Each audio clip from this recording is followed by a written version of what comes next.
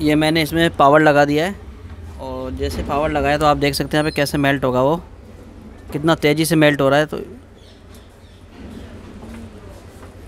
इसका मतलब यही कंपोनेंट ख़राब है। अब हम इसको हटा देंगे और सीधा इसका लैपटॉप को चेक करेंगे।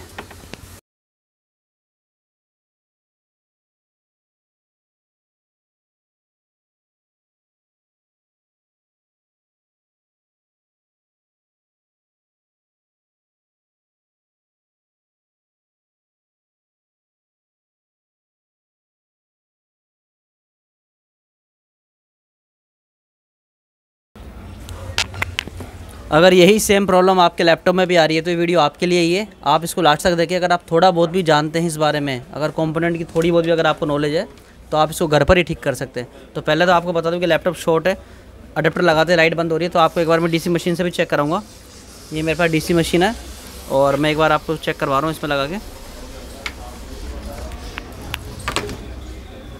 ये मैंने इसको टुच्ची लगा दी इसकी, और देखिए, अभी उन्नीस वोल्ट पर सेट है हमारा।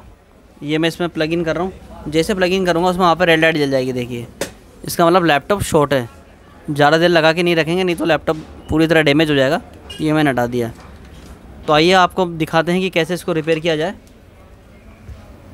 तो अब हम इसको ओपन करेंगे लैपटॉप को।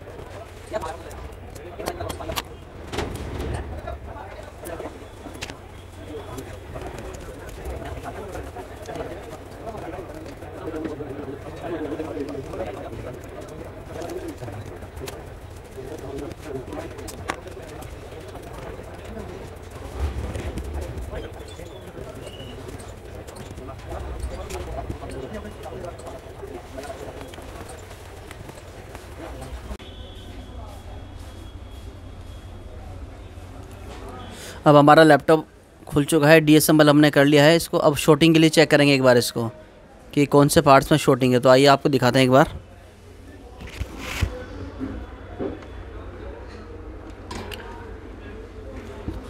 चार्जर लगाते जो लाइट बंद होती है, उसके लिए हम आपको बताएँगे कि 19 वोल्ट में शॉटिंग है, तभी लाइट बंद होती है। तो हम एक बार चेक कर लेंगे इसे कहाँ कहाँ शॉटिंग आ रही है।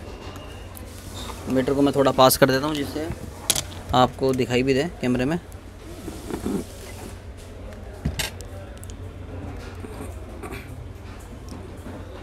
कोयल चेक करेंगे पहले एक बार और सीपीयू वाली कोयले भी चेक करेंगे। सीपीयू तो अपना ठीक है ना।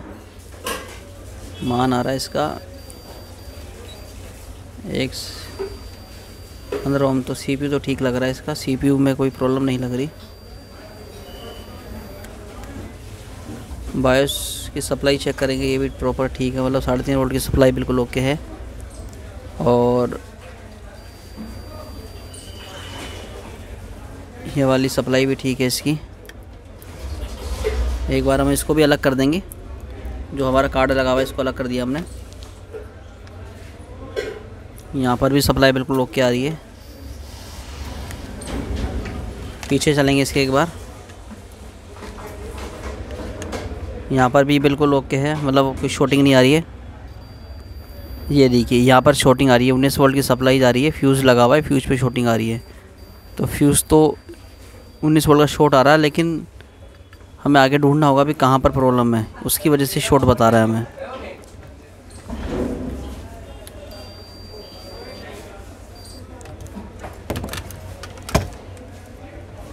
उन्नीस वोल्ट के जो कैपेसिटर होते हैं, वो बड़े वाले होते हैं। ये देखिए, यहाँ शॉट आ रहा है। दोनों तरफ़ देखिए आप एक बार। कैमरे में। ये कैपेसिटर है, दोनों तरफ़ शॉट आ रहा है। ये उन्नीस वोल्ट के कैपेसिटर है। और ये बड़े वाले कैपेसिटर इसको चेक करेंगे। यहाँ पे भी ज़ीरो आ रहा है। और यहाँ पर भी ज़ीरो आ रहा है मतलब उन्नीस वोल्ट की सप्लाई शॉट है और कोई ना कोई कैपेसिटर इसमें शॉर्ट होगा। अब वही हमें वेरीफाई करना है, ढूंढना है कौन सा शॉर्ट हो सकता है। तो सबसे पहले एक बार इसी को उतार के देखते हैं कि शॉट आ रही है तो इसको उतार के देखते हैं एक बार हम।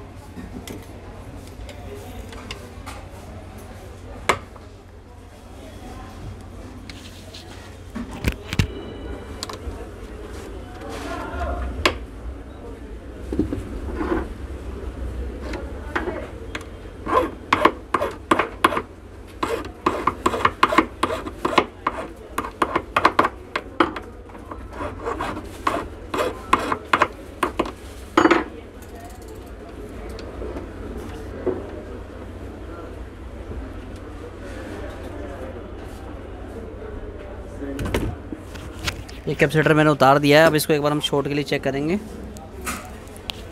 यही कैपेसिटर शॉर्ट है, या आगे कोई दिक्कत है। ये देखिए मदरबोर्डों को चेक करो, दोनों तरफ़ है इसका मतलब कैपेसिटर ये वाला सही होगा। आइए, आपको नोट दिखा देता हूँ दोनों तरफ़ से।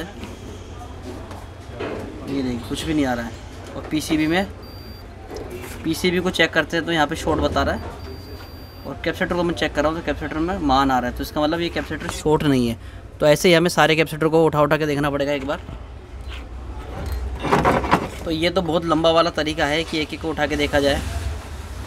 अगर आपके पास टाइम है पेशेंस है तो आप इस तरह देख सकते हैं। नहीं तो इसके अलावा एक शॉर्ट तरीका और है मेरे पास में। ये देखिए, ये वाला भी कैपेसिटर शॉर्ट नहीं है।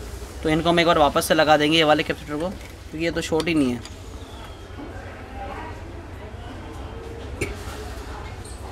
ये जो मैंने हटाए थे कैपेसिटर इनको मैं वापस से लगा देता हूँ। अब आपको मैं बिल्कुल इजी तरीका बता रहा हूँ। उन्नीस वोल्ट की सप्लाई हम सीधे देंगे। इसमें एक बार मैं रैम बाहर निकालूँगा। रैम मैंने बाहर निकाल ली है। और अब हम इसको डीसी मशीन से सप्लाई देंगे।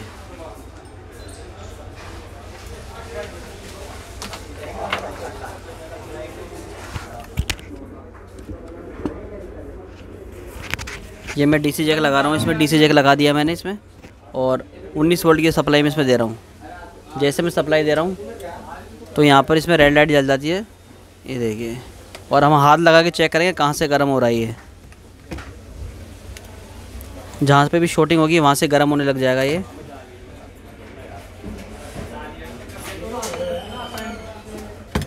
तो मुझे यहाँ से थोड़ा गर्म लग रहा है तो यहाँ से मुझे थोड़ा थोड़ा गर्म लग रहा है तो एक बार मैं इसी को चेक करूँगा कैपेसिटर को। और ये यहाँ पे शॉट भी आ रहा था और थोड़ा सा जला हुआ भी दिख रहा है। अगर आप कैमरे में गौर से देखेंगे तो आपको थोड़ा सा ही दिख जाएगा कि जलावा सा, काला सा भी हो रहा है ये। ये वाला कैपेसिटर थोड़ा काला काला दिख रहा है। तो एक बार हम इसी को उतार के देखेंगे एक बार। इसको उतारने से क्या शॉटिंग हट जाएगी? तो आइए हम इस, इसको उतारते हैं एक बार।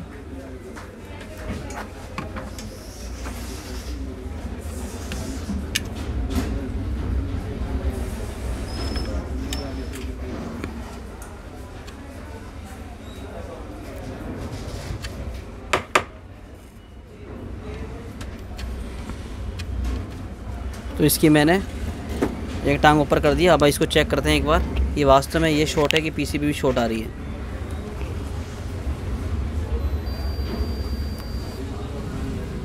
ये देखिए शॉर्टिंग हट गई इसका मतलब कैपेसिटर ही शॉर्ट है इसका मतलब। आइए मैं आपको दिखाता हूँ एक बार कैमरे में। ये मैंने इसको लगा दिया है। ये देखिए। मीटर में ज़ीरो आ रहा है। तो इसका मतलब ये कैपेसिटर ही शॉर्ट है। तो आइए हम एक बार इसमें पावर लगाते हैं और पावर लगाने पर क्या होगा? तो मैं इसमें पावर लगा दिया है और एक बार हम इसमें वैसे ही ऑन करेंगे बिना काट के। ये देखिए, जैसे मैंने पावर लगाया था, वहाँ पे जो शॉटिंग वो हट गई है और लैपटॉप भी हमारा ऑन हो गया है। तो एक बार हम इसका जो कार्ड है, इस कार्ड को जोड़ के फिर चालू करेंगे इसको।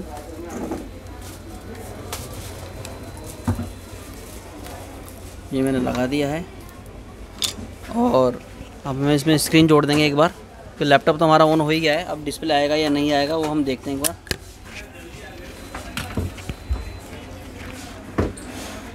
तो ये मैं स्क्रीन भी अटैच कर देता हूँ इसके अंदर।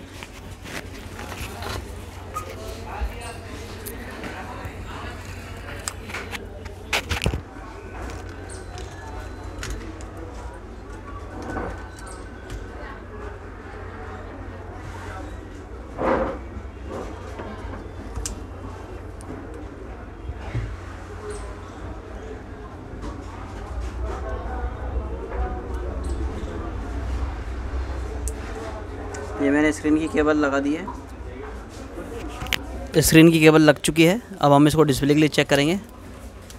तो एक बार मैं थोड़ा सा देख लूँ कि कहीं अड़ तो नहीं जाएगा टच तो नहीं होगा, कहीं कुछ नुकसान तो नहीं होगा।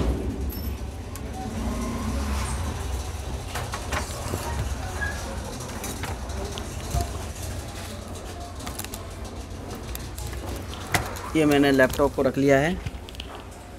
और एक बार हम अब इस पर पावर लगाएँगे और चेक करेंगे कि इसमें कोई और प्रॉब्लम तो नहीं है। अगर बिल्कुल सब कुछ ओके होगा तो लगाते ही इसमें डिस्प्ले आ जाएगा।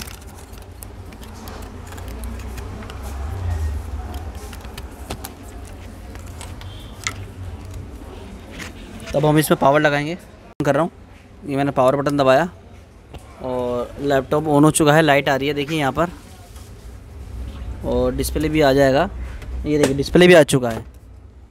पहले हमारे लैपटॉप में चार्जर लगाते जो लाइट बंद हो रही थी लाइट भी चल रही है डिस्प्ले भी आ गया है। ये देखिए, अब ये हार्ड ड्राइव लगी हुई नहीं, इसलिए ऐसा आ रहा है। जब हम हार्ड ड्राइव लगा देंगे तो विंडो चालू हो जाएगी। अगर आपके लैपटॉप में भी किसी तरह की कोई समस्या है, या आपसे ठीक नहीं हो पा रहा है तो आप मेरी दुकान पर आ सकते हैं। हम लैपटॉप रिपेयरिंग करते हैं, बहुत अच्छे से करते हैं, और कस्टमर के बजट में ही करते हैं, और तुरंत करते हैं। चिप लेवल तक की हम रिपेयरिंग करते हैं। तो मेरा एड्रेस है Vinayak computer G seventy three ground floor riser plaza Jaipur. Thanks for watching